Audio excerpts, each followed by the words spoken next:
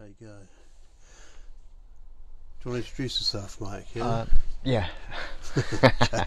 Hi, this is Mike England. He's just about to introduce himself. Must have a cup of tea. There you go. What's it all about? Um, yeah, I'm Mike England. I'm a painter. Yeah. Yeah, I've done it all my life. Um, well, it feels like most of my life anyway. Um, Yeah. I sort of sort of come to that stumbling block as well. You know, you're basically the moment you're sat in front of you one of your pieces of work. Yeah. Is that quite recent? mind if I ta take this off so I don't see myself? No, no, you, it's got Oh. to, it's got to be like that. Okay. Afraid, yeah. Right. Otherwise, it just points in the other direction. I think it's seeing yourself it makes you feel self-conscious. Well, look at the fool. All right, I'll, I'll block it out. I won't. There's, there's one take and that's it. There's no rehearsals. Oh, okay, all right, okay. Um, so you're sat in front of a piece of your work. Is that Yeah. recent at the moment? Yeah. Yeah, that's the the piece I'm working on at the moment. Right. Okay. Okay. Hmm. But I mean, what? Um, I suppose if, if people watching this and are not necessarily involved with art and stuff like that, and um, it's quite sort of hip and trendy to go and buy a printed canvas which has got some sort of abstract uh, picture on it all of a sudden, you know, which wouldn't have um, wouldn't have happened 20 years ago. People, you know, people all of a sudden abstract is a buzzword, you know. But Right. when you're at college, say, I don't know, we- you're at college in what late 80s, early 90s, and you had to justify, for example, to your tutors why you were doing something that was abstract, even if you were doing something figurative back then. What would be your justification, and what is the ideology behind, say, doing a piece of work like that behind you, if you had to justify? Yeah, um, that's a good question. Um, first and foremost, um, may, maybe it's my personality, but it's like I'm single-minded. It's I'm stubborn, so I don't really care what people think, regardless what position they have in the hierarchy. You know, like in the, in, in college. Yeah. For me, it was just a studio, and I couldn't understand abstraction or the language of it. I couldn't understand why I'd want to do it, and to, it's a bit like learning to walk before you can run. So, and I still think you know hand and eye coordination, life drawing and whatnot, and looking at the outside world is really important. But nothing is really abstract. The world is very abstract, but we, we don't think it is because we categorize it in our minds in order to function. You know, Yeah, yeah. um, it's to make the world a very you know understandable, practical. Is our way of controlling it. Um, a tree doesn't call itself a tree. It's only man that sort of calls things True. things. So, um, It'd be called but I think the language of abstraction is becoming more familiar to people. People are starting to let go because people are asking questions about other things in their lives, about the meaning of customs and traditions. And that, so I think visually, and also because of the amount of advertising and visual projection from the media, Yeah. and now with cameras and whatnot, everybody's sending. People are becoming a lot more visually aware. So I think the language of abstraction is becoming much more in the realm of comfort for most people. All right. Okay. So, if, for example, um, you know, you got the classic debate that painting is dead, has it actually really arrived at this deathbed now that the general public is accepting abstraction as a form of uh, making art, especially in painting, for example? Painting is dead. Long live painting. That's what they've always said that, though. but well, people are going to be na- naturally justif- What's going to Yeah. be the next thing? You know, Um, return to figuration. will it be? painting- Yeah. For me personally speaking, I think painting has been um, a way of understanding the world, my life, you know, in relationship to the world. Um, and it, I've got more answers, I think, from painting. Just for example, say um, while you're at college, I remember being at college, and while friends were, um, uh, and contemporaries were learning parrot fashion, uh, parrot fashion answers to questions, so they can pass their exams Yeah. it, you know you're you're in the studio all the time just um, you know working on your own ideas trying to understand what it's all about. Because you're not under that constraint thinking I've got to pass an exam. You fine art there isn't a commercial market attached to it. No. like if you study True. graphics then there's a, you can become a graphic designer or an illustrator. If you study illustration you can, can become an illustrator. There's a commercial market uh, you know when you finish college with, with fine art there isn't Not in its essence, no. But I mean, I mean, there are people that do cross over, and there are people that Yeah, of course. use things like that as a Yeah, of safety course. net, aren't there? So um, we are where we're at yeah, I mean, I think it's in, I think it's incredibly um, brave in a lot of ways to um, be able to go and do a fine art degree or something like that. But I, I agree Um, But you don't What- think of that when you're younger, I- do you? It's just an extension of playing. When, in a way. what age were you went when you went to art college? Then? Straight after secondary St. school. St. Martin's, isn't it? No, before then, uh, I was at Chelsea, did the foundation, and before then I did two years. It was art school. It was uh, PQC, and it was the most Oh, art- unacademic art thing. teaching, It's like the first year was undoing everything you learnt about school, about being conditioned in an academic way, and the second year was all about expressing yourself. So, it, Right. and then when I went to uh, Chelsea to do the foundation, it was a bit like taking a step back to school because it was pretty academic, and it's also art school is like a finishing for um, rich children, you know, children of wealthy people, you know, whether they're lord and lady so and so, or or you know, it it, it has that sort of attraction because it is like a finishing school. I personally, I never, I never noticed that. I mean, maybe it's because I was lucky enough to. Well, I think Um, I think Jarvis Cocker, Common People, really hits Yeah. it on the head. I know, but I mean, the, the thing what I was going to say is that I was lucky enough to get grant education, so Yeah. um, the background thing didn't matter. But I, Yeah. I, I was, you know, I was aware that you know going to art college can, can be some sort of knocking shop for um, rich people. You know, I mean, Yeah. um, but we all used to get on with each other, so it's not. Well, I suppose even if you're wealthy, you count kids. What are you going to do with them when they get to a certain age? Yeah, I mean, I, I just It just goes to show that art is important. For when people have got money and they're wealthy, art is important because otherwise, why would they expose their children to it? True. I mean, the, the investment side of art is certainly definitely there. I mean, um, I think you're, you're looking at getting probably a 30% return on uh, investment at the moment in art. I mean, I think that's pretty standard. Is that but, right? Um, yeah, yeah, yeah. Oh, really? Yeah, yeah, yeah. That's and it's I mean, it's something I'm personally looking at at the moment in doing, which I think I solved. Right. Um, actually, make actually more than 30%, probably more like 35%. So um, uh, anyway, that's that's another side of it. That will come later on, hopefully. But um, yeah, I mean, for example, I think, I mean, I look at that painting um, behind me now, and knowing that I have spent, you know, eight years in studios in Sweden just painting like that. Um, people would people um, would generally say, um, "Oh, that can be knocked off in." Any time, and my kid could do that, and this, that, and the other. But you know, I, I know. Such a knee-jerk I know answer, as, isn't as, as, a, as I can smell it as it's an aura on canvas that you know that can take a long, long, long time to actually reach some sort of fruition, can't it? Really? I mean, Well, I'm 50 now, so it would have taken me, what was it, no, I mean, I'm just talking like about that. 36 years so far to Probably, get to that painting. But I'm just, I'm just talking about that specific painting. Yeah. Would it, um, you know, to give somebody the idea of somebody an idea of how long something like that would take. I mean, for, for example, the Michelangelo Sistine Chapel took six years to paint or something like that, wasn't it? Or, Right. You know, people don't appreciate that. They just look at it, register it, and move on. Now, you know, that's, I uh, think painting's changed because it, in one way the world has changed, Mm. and I think painting reflects the world. And the world when Michelangelo was around, you, you know, 400 years ago, it was a very different place. Roman, yeah, Roman Catholicism and yeah, rich paints. It's a very different world. I mean, they didn't have the internet in those days, and I'm sure of Michelangelo, he'd probably be a film director or something now. I'm sure there is different medium. There's different. You, Derek you try and understand probably. it. It's like Derek Jarman. like reinventing the wheel. That's what we that's what every generation does. Is tries to understand it itself by reinventing the wheel, and we all do it to you know hopefully.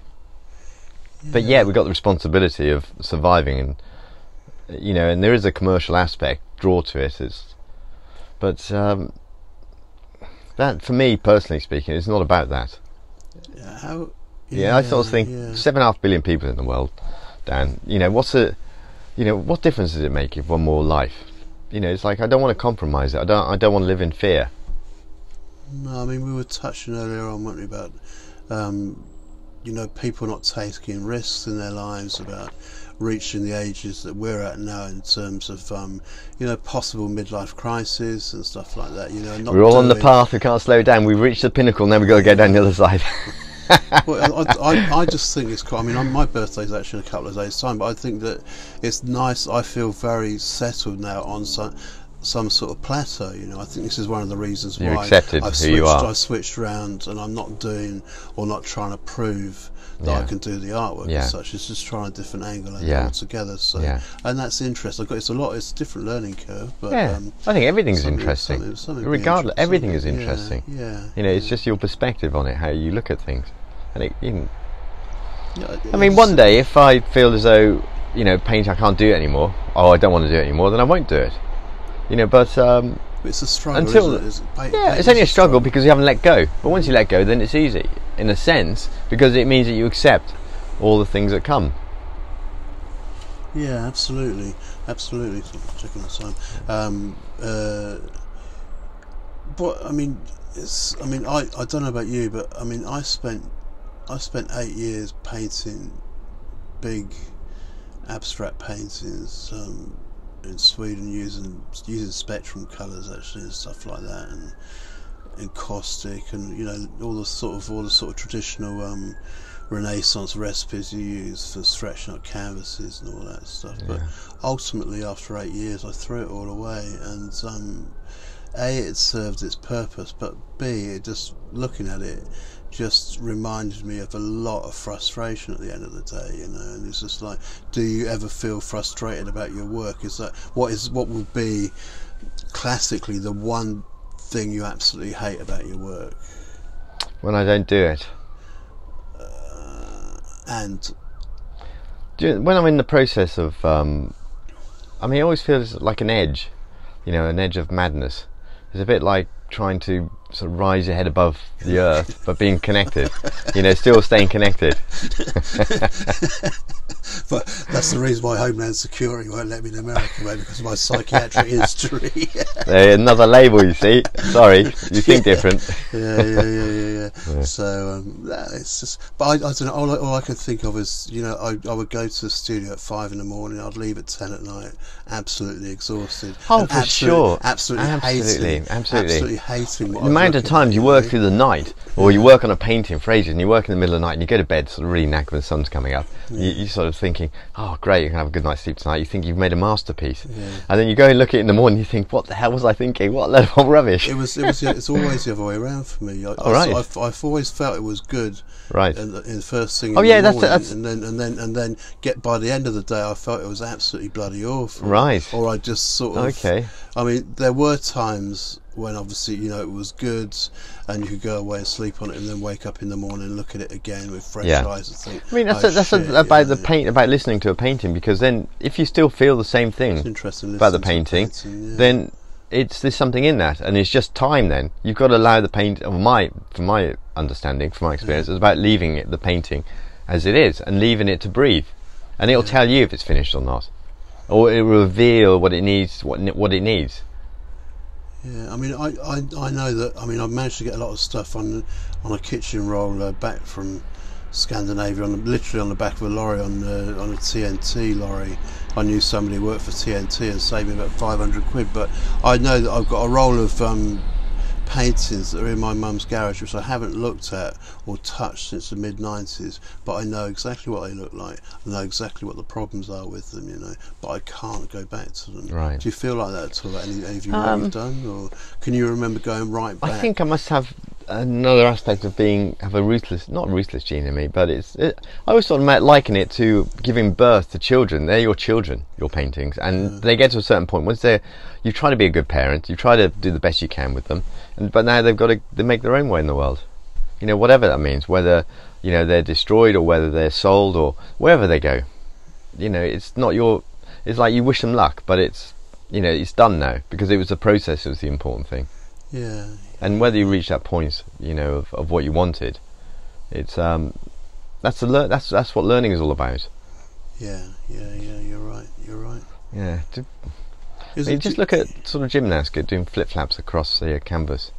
You know, they look so easy, but you think about the amount of hours that they have had to spend, you know, working, perfecting it, training it, you know, to understand, to get good. Why? You know, what what gives them the edge? What makes them good? You know, they make it look so simple, but it's, and I, as you said earlier, the knee knee jerk reaction of um, of people is like, I could do that. yeah, you know, Yeah, yeah. It's um, you Well, could say the same thing. no, you couldn't say it about gymnastics. No, you couldn't. Some people, you probably couldn't say I could do that. Can you? I mean, the, the only thing I was thinking about looking at looking at that painting now, obviously when it's hung in a gallery space, it's going to be completely different because you've got you've got a neutral white wall surrounding it. It gives it Yeah. it gives it the opportunity to um, actually shine out. It's like I don't know if you were around when they had um, a Howard Hodgkins show in this Yeah. town, and that you know I saw a Howard Hodgkins show at the Whitechapel twenty odd years ago, and the the fact that he was an absolutely amazing colorist really shone Yeah, through. yeah. But what they did wrong in this gallery here, in the modern art one, is um, they painted the walls grey, and it absolutely destroyed the paintings. Right, you right, know, right. Absolutely destroyed the paintings. Yeah. And I was just thinking I because see what you mean. what- should, you shouldn't have to consider the environment. The painting should stand on its own, regardless. Regardless, that's why I don't have any frames. But I know what you're saying. It has have an influence of the experience. Because you, you used to White spend, or grey or years, red or- you used to spend years Yeah. building up the paintings and stuff like that. I remember once, just just um, sort of. Oh, the, the, only, re- the only reason I was going to say it is because do you find it easy because there's so there's so much there's so much clutter around the work you're actually working on. How how do you is it is yeah, it this is the smallest studio I've ever had, Yeah, and yeah, it does. It's not really suited right. to um to big canvas. I'd I'd, I'd like to have more space, of course. Yeah, yeah, But yeah. um, it, I- you know, you can only yeah. do what you can, can't Does you? You've got to carve out a, a way of expressing yourself. And you know, this um, studio is at the moment it's fine. I mean, Yeah, uh, absolutely. I, I just wonder because if I, I mean I, I'm look you're, you're looking at me, I'm looking at your work, and if I was doing your work right now, I couldn't decide. Yeah, I see what you mean. See, Yeah, the influence. I know you have to be tunnel not, vision. Or, I know. Um, you know, you put a lot of effort into it. When is Mate- it? Is it the environment that's stopping you from carrying on, or is it? Maybe- Or is it the environment that's stopping you from finishing it? I see what you mean. No, no, it's not. It, I think. I suppose you just get so. It's like anything. You just focus, and you switch into that frame of mind where you just focus, and and all I see is the painting. When I'm working on it, nothing else exists. Yeah. Okay. So, um, yes, I wouldn't. I'd rather not have that. It's a bit like, you know, sort of narrowing your eyes. It's having tunnel vision Yeah. in a way, not to be influenced by, you know, the shelves and what's on around. Is it finished? That piece of work behind you? Um, almost, not quite. I don't. You see, it's always a balance, you know, between the order and the chaos. Now, where? How do you give a painting life? You know, how do you make it sing on its own? Because it's like, okay, there'll be that color relationship, and you know, those things that have got discord or harmony, you know, going on, and you know, the marks of the canvas as well, and the relationship between everything that's going on. But Yeah. it, again, you know, what I was saying about time and listening to the painting, it, it tells you. So I, there is some, there are a few things on it which is a bit like, you know, the chain is only as strong as its weakest link, and there's a weak link in there. But I couldn't see it before. But by leaving it and spending time with it, you know, just sort of obser- observing it, um, it reveals to you what it needs. Yeah, and that's yeah. that's a balancing act because it's like building a tower of bricks or something. And at some point, it's going to start to wobble. So you got you, you delicately put the pieces on, and it could all come absolutely. crashing down if you make the wrong. Absolutely, So it's about knowing It's when to leave and when to stop. And and if you listen to the painting, it tells you when it's ready. When was the last time you worked on it? Uh, yesterday, last night, actually. Oh, okay. Yeah. Which bit do you do? that blue bit down there, but No, it's a quiz. It's The a the blue bit, yes, Yeah. this blue bit here, and the circle, and Yeah. all of it really. Now that blue bit definitely works. Yeah, yeah. Funny thing is though, it's like when you think that's what it needs and you do that, then it the whole thing changes subtly. And then it sort of says, Oh yeah, then there's something else that catches your eye. Thinking that needs doing now. You start working on that. What else does it need? Then you just carry on. What would you cons- consider picture varnish or anything like that? Or, I mean, it's a classic, isn't it? Really, if people can see themselves in the reflection, they like it more. You know, sort of br- fine brush, fa- fanning brush strokes, and picture varnish. You know, People like um, to sort of feel as though they couldn't do something. That's why. That's how they admire things because they feel as though they couldn't do it. It's Yeah. beyond my reach. You know, like a thing about the gymnast. Yeah, yeah. But um, I'm gonna. I remember this. This I'll tell you this quick story. But I remember when I left the, um, studio in Shoreditch, and um, I, had this painting. I, I had lots of paintings, and I was thinking, I, I don't know. I did it as an experiment. I left it outside by the rubbish by a skip to see, you know, if people thought it was rubbish or whether or not, you know, what would happen to it. Yeah, yeah. And um, so I left it there. Then it was gone. And then I got an email from somebody saying I found the I put my name in, on the back, my phone number, and somebody phoned up, or they didn't phone up. They sent me an email, sorry, and um, they just said, "Oh, I found this painting, uh, whatever," and, and they said, you know, they thought that it was wrong that it should be sort of by a skip, so they they could took it. Right, You want it, you know. Wow, bank. So that was nice. It was it was just curiosity in my mind. I've been through similar situations like that, but when I, when I was last at college. Um, uh, on my birthday, actually, I, I had to put my. We were getting kicked out of our flat in North London, and the landlord came in. I had I didn't have didn't have a car or anything like that, but I just had a bin bags full of um, my stuff outside the back the front Yeah, door, yeah. and the dustling lorries came along, took all my belongings before I could get a car, so I lost everything. Anyway, it's another Yeah. story. Well, thank you, Mike. Not at all, Dan. Thanks That's, very much. um, okay. That's been a good one, man. Yeah, that's that's good. That was quite interesting. Yeah.